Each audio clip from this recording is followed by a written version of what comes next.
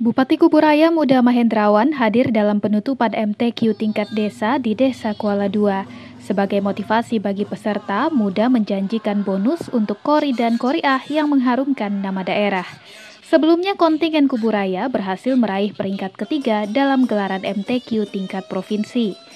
Oleh karena itu komitmen kita, kita akan mengawal terus dan akan memperkuat termasuk juga nanti kita mengawalnya dengan memberikan juga hal-hal yang sifatnya bonus untuk anak-anak kita yang nanti bisa mendapatkan di tingkat kecamatan dan seterusnya mereka juga nanti ke tingkat kabupaten. Jadi saya mengapresiasi yang Kuala Dua ini ya uh, luar biasa agendanya dan dilakukan dengan sangat cepat juga. Tiga hari sudah cepat selesai selesai. Ini maksimal sekali kerjanya.